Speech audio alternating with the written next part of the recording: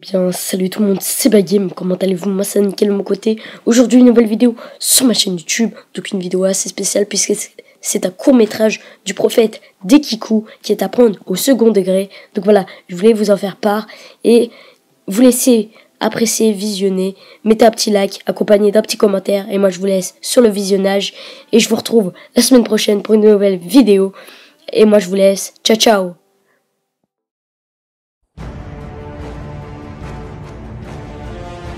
Je suis Kevin, le prophète de Kikou, et je suis venu éliminer deux youtubeurs.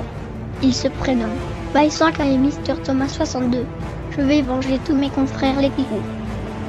Les Kikos seront enfin vengés du mal qui leur a été infligé.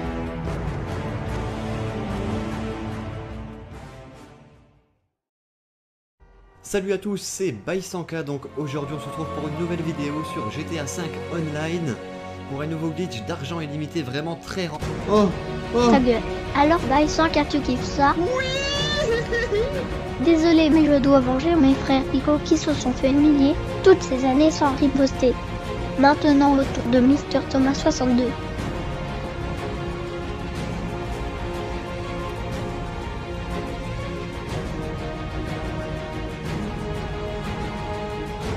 Ah je le vois arriver ce bâtard.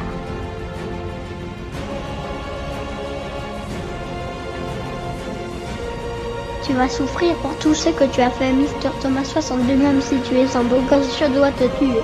Donc, maintenant il est temps de dire adieu à Aurel et puis à parce que t'es mort.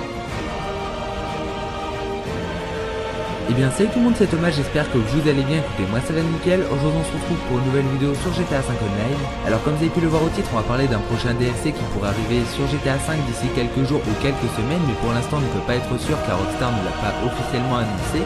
C'est donc dans les codages du jeu qu'on a retrouvé pas mal de choses depuis la dernière mise à jour et c'est nouveau. Non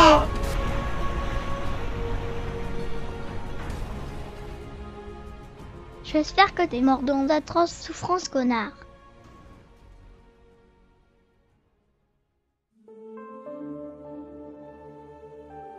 Ce soir, les Kikou dormiront tranquillement. Éliminer Mister Thomas 62 et 5 a été une chose facile, mais il restait encore beaucoup de gens qui les ont fait du mal. C'est pour ça que je vous invite à me laisser un pouce bleu et me dire dans les commentaires qui dois-je encore combattre si un jour je reviens.